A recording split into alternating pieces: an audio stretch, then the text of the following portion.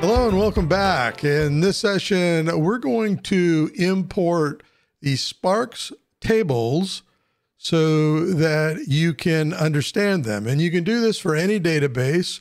We're just going to bring the Sparx tables in to help you in future sessions dealing with mining Sparx data. So let's get started. All right, we're going to create a data model diagram. Simply come up here, select. We've already filtered out. We're using extended data model. And so we're just going to hit OK. And it's created and launched Sparx tables a diagram within our work area for us to continue. While we're on the diagram in the namespace that we want to use, we're going to go to develop and then we're going to go in the data modeling panel or group, select import. We get this dialog box that pops up and we're going to choose browse and we're going to use direct native connection, right? But first, in here is import to diagram and package. We don't really want, because there's 99 tables in Sparx. I don't, know how large any data source you'll be bringing in, but I'm going to only bring them into the package. I don't need them rendered in the diagram for me. Now we'll go back to browse, select native connection, hit OK, choose the data source that we want to use, the DBMS, put in our credentials, and we're going to have to hit test first because OK is disabled. Until you test your connection it will not be enabled. Now it's enabled. We're going to hit OK. And we get this dialog box here. We're going to only include objects from schemas from the database owner, the DBO, right? And then you could certainly choose, again, tables that you want to use, but we're going to go import. It already knows the source, the package, because we're on it. If you had a bunch of packages and you wanted to go, you'd be able to navigate to where you want to load the tables, but we're going with what we have set here. We're going to hit import.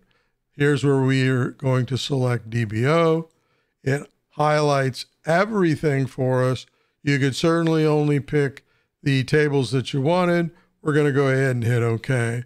It's going out now and it's starting to build out the data in Sparx for the data tables it will create for us in this namespace.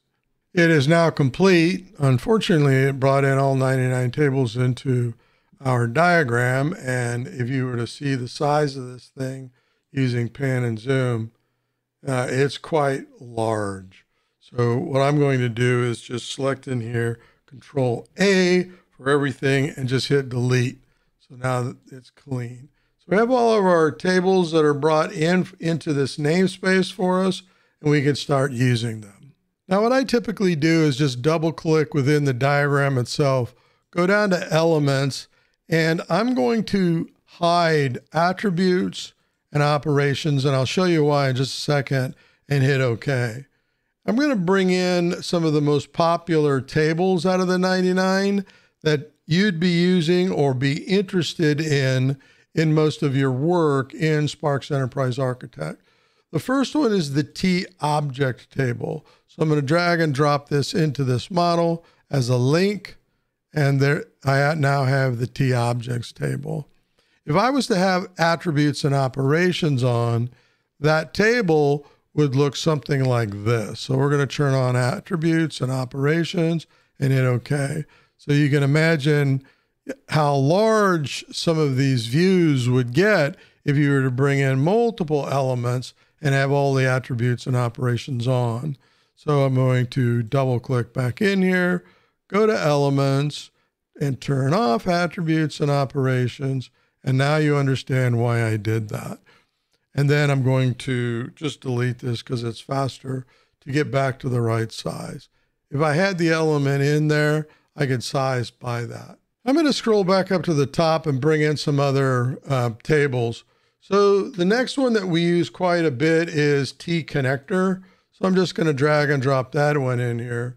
Then we're going to go down here, T diagram. When I want to search for diagrams, I'm going to bring that one in there and we'll organize these in a moment. Documents kind of interesting, but it's not going to be in this. It's not in the top five, I want to say. We've already brought in T objects. And the next one that's important to me is T objects properties. And this is where your tag values are. So when we're doing queries and we're doing joins between T objects and T object and want to get tag values, T object properties, we'd bring that in. We also want to mine the uh, connectors, the associations, and so on, we'd bring those in. And then T diagrams. So these are the top four. If I continue to go down, the next one is package, T package. So probably the most important because when you're looking at your uh, browser and you're looking at the organization, the first thing is the package. So the next thing is the objects that are underneath it. So let's go to layout, move this to the bottom and do something like this. The next one after that, uh, well, I probably should have done this. The next one is actually diagrams. And then the next one is objects because your objects are in your diagrams and your diagrams and the objects are in your namespaces or your packages. And then the next one, if we were doing it in an order, would be your connectors, the associations between the elements and objects that are shown in the diagram. And then the, the next important one to me is the tag values, and those are shown in the T objects properties table. We'll just move these up here, and there we go.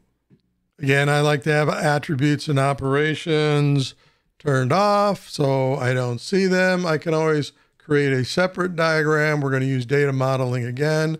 And then we might put something for the title, full view, all attributes and operations, whatever you want to call it. Then we're going to come back over here. We're going to select all of these, control C to copy. And then we're going to come in here and shift insert to bring them in with their attributes and operations.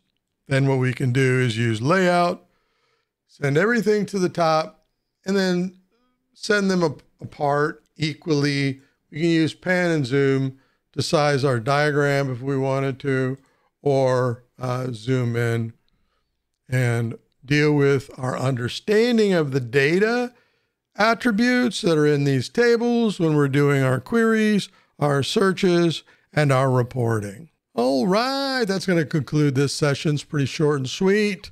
Uh, thanks for asking. The community came out and said, hey, you said you'd show us how to import the Sparx tables if we asked. And a lot of people asked. So there you go. And until our next episode, happy modeling.